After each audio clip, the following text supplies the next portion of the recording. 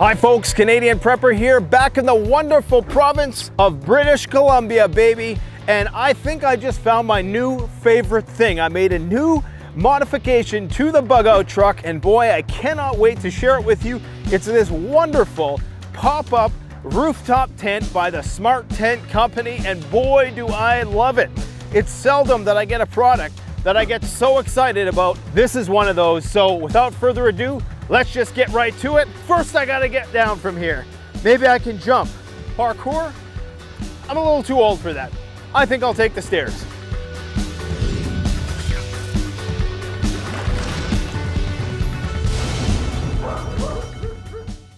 Guys, as you know, I've showed off all kinds of tents on this channel. From Russian tents, to Norwegian tents, to MSR tents, ultralight tents, carbon reflex tents that weigh one pound, but I've never used a rooftop tent. I've always scoffed at the idea. I've always attributed it to, you know, people who are maybe compensating for something, overland LARPers of sorts, but I finally realized how great these things are. In having this throughout my travels across Western Canada this summer. This thing is absolutely amazing. I mean, the amount of time you save in being able to just set up shop anywhere is incredible. All right, so I'm gonna show you how fast it is to set this thing up. Let's get to it. First, put down my step. Go like that, go like that, go like that. Jump up here, go like that.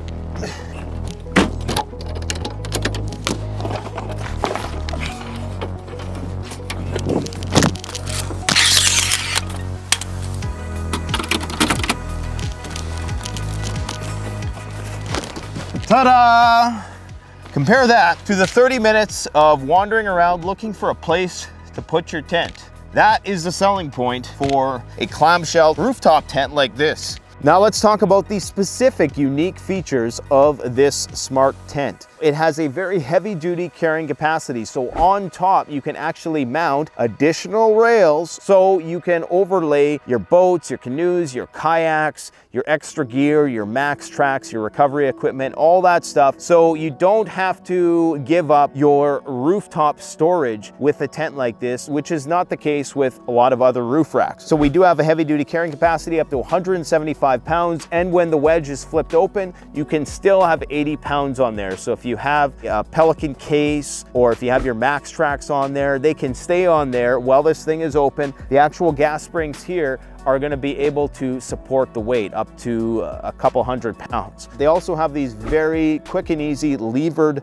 latches that open very quickly. They're very easy to close. And along the side, you have this rail system that can receive all different types of accessories like LED light kits, awnings, water tanks, shower kits, different cross rails. You can mount extra gear. You can do a whole lot with this type of hard shell smart tent. So the hard shell of the tent is made of extruded extruded aluminum for durability and puncture resistance. It's also a nice black powder coating which will resist the elements. So the actual tent material itself is made of a ripstop polyester cotton canvas. And this is actually a very interesting material because you're gonna get that breathability, you're gonna get that organic feel of canvas, but you're also getting that synthetic feel with the ripstop mesh. So even if I was to puncture this, the rip is not going to continue. You can see there is a grid of stronger fibers infused within the canvas from preventing a rip to continue. It also has a polyurethane coating. It's breathable and you get good rain resistance with a tent like this. The mattress is a high density EPS foam for comfort and mattress airflow. I really like the mattress because it feels as though it's gonna last a long time. It's very firm, but it's also a lot softer than the ground. And as a person who slept on all types of grounds over the years, I can honestly say that this is one of the biggest selling points of this for me. To have a flat, large surface area that is comfortable and soft is something that's hard to beat. It also includes a very convenient telescopic ladder, which is very easy to deploy and take down. There's weather stripping along all the seams in the inside. There's three entrances, which is also great. So you can have the latches either on the sides or on the back. Right now I have the ladder receiver mounts on both sides of the truck so I can get in and out from both sides depending on where you want your point of access. There's a nice cinch cord for seamless pack up. You're gonna have to do this a few times before you're able to mount master the quick takedown of the tent. There's a bit of stuffing that you have to do around the sides, but there's a very easy way to do it that I've found that really only takes a minute. So taking this thing down is nearly as quick as putting it up. There's generally three types of rooftop tents. There are soft shell. There is the wedge design like you see here, which I think is the number one design because of the ease of setup. And there's also the flat hard top design. That's arguably the most spacious. Let's first talk about the benefits of this kind of tent.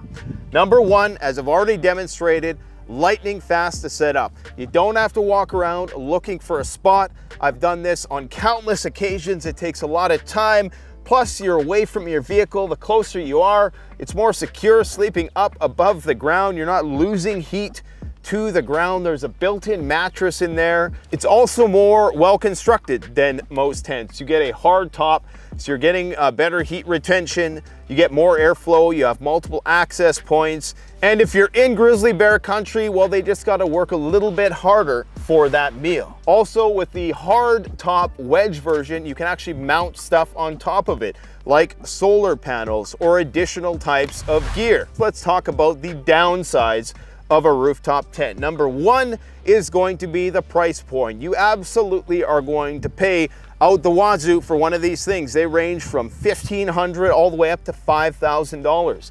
This one, I believe, is around 3,000 American, 4,200 Canadian. So it's a sizable investment. In my personal opinion, if I was doing a lot of traveling, I was doing a lot of overlanding, it would be worth the investment, the amount of time that you're going to save, not having to find a spot, the consistency. One of the downsides is the weight factor. Now, I had an upgrade on this truck. I have HD heavy duty leaf springs that increase the payload of the truck and reduce the amount of squat. So it's not a huge issue. I've got this thing loaded down with probably a thousand extra pounds. Yes, it increases gas mileage, but guys, you don't buy a truck to save gas. If you're buying a truck and you're hoping to save gas, then you've already lost the battle. It does make the truck a little bit top heavy. The benefit of the smart tent, because it is so narrow, is that it's going to minimize that compared to other designs on the market that are taller and thus create more drag and go against your center of gravity. So you're a bit more wobbly on the turns out there. Of course, you are going to need a adequate mounting system Right now, this is mounted on top of an RSI smart cap. On top of that is a Prinsu roof rack. And then on top of that is the smart tent. So I got stuff stacked on stacked on stacked, racks on racks on racks. Is that what they say? Now, one of the downsides, if you have dogs, ain't no way a dog getting up here. Quite frankly, if it's summertime, my dog ain't sleeping in the tent. Anyways, I know there's a lot of blue-haired Karens out there that treat dogs like their children, but dogs are animals let them run free, let them do their thing. If it's absolutely essential that the dog has a place of refuge, he's going in the back of the truck. He certainly ain't climbing up these steps unless he's a pug or one of those other useless dogs that does nothing but consume resources. One of the other downsides of a tent like this, and I don't really view it as a downside, it's actually kind of a positive, is that where you set up your tent, that's pretty much where you gotta park your vehicle for an extended period of time until you're getting ready to take it down. However, because this is such a quick tent to set up and because it's a wedge design, you're not gonna be driving long distances, but if you need to reposition the truck for any reason, that's not a big deal with the wedge design. It is going to be a big deal with some of the other rooftop tents that extend laterally out, out to the side. Some people might say, well, I want to store my gear in the tent at the campground, and then I want to be able to travel you know, throughout the day and do stuff. But why would you do that when you could have all your stuff securely in your vehicle all the time? It only takes a few minutes to load it up to the tent. What do you really need in the tent at night? Anyways, just the bare essentials. The other downside of a rooftop tent is having to get down to pee at night. Now, I'm not saying you should do this, but you could theoretically, if you are of the masculine persuasion, you could just open the zipper here and pee out the side of the tent. I'm not saying I did that several times throughout my trip, but I did that several times throughout my trip.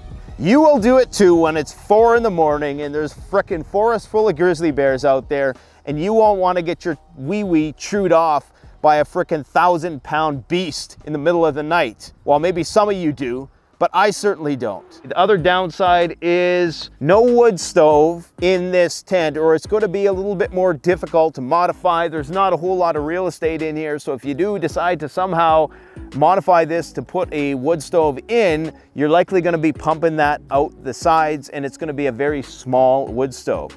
You might be able to heat something like this with a propane heater. In fact, you will definitely be able to do that. I'll probably end up uh, using some small uh, portable Mr. Heater system.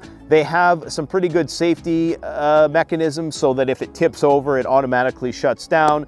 There's adequate ventilation in here so you don't have to worry about poisoning yourself or anything like that. So you could foreseeably use this in wintertime, but because you are off the ground and you do get a nice thick mattress, you got a lot of space up here. All right guys, so after using this tent, I can honestly say I really do love it. Two minute setup, two minute takedown, super easy, very streamlined, sleek, compact look to it, that clamshell makes things very easy. It's just a very durable, well-made tent. The gas springs are very strong. And of course, if you ever had any issues with these gas springs, you could easily replace them. This is a universal product. What I plan on doing in the future is mounting some solar panels up here. The possibilities are endless. They provide you a really cool webbing system in there the ladder is so quick to deploy. Everything about this system is fast. Now, the only potential downside of this is that yes, you do indeed have to deploy it, unlike a camper van or something where you could just pass through your cab, go right into the back, sleep for a bit. However, the benefit of this is that you still get all the space in your truck, under your truck topper. So I have loads of space underneath here. I have my shelter it really is the ideal setup. We slept in here, it got down to minus seven. didn't even feel like it all in here. You have two people in here. The body heat will be retained by the mattress. That's one of the primary things. You're not losing heat to the ground. And there's enough foot space. At first, when you get in it, especially if you're six feet tall, you may have to sleep diagonal. Most people, when they sleep, they're not sleeping straight anyways. So it's not like you're stiff as a board, right? And you're, you're the full length of your body. Usually people bend their knees a little bit. The only other thing that might be a problem is the fact that this is a black top, okay? So it's going to attract a lot of heat on those hot days. So for some people, they may want to change the color of this. You could paint it a different color. You could paint it white, that would reflect the light. That would help you out in the summer months, but it won't be that great in the winter months because of course in the winter you want black, it's gonna attract heat, but you don't want that in the summer. Overall, I'd say, man, I'm really, really liking this tent. It's exceeded my expectations by a lot. The takedown and setup is a lot quicker than I thought, especially the ladder. The ladder sets up literally in 10 seconds. All things to consider, guys, honestly, I love this smart tent. Pick one up, CanadianPreparedness.com. The best way to support this channel is to support yourself by gearing up at CanadianPreparedness.com, where you'll find high quality survival gear at the best prices, no junk, and no gimmicks. Use discount code PREPPINGGEAR for 10% off. Don't forget the strong survive, but the prepared thrive. Stay safe.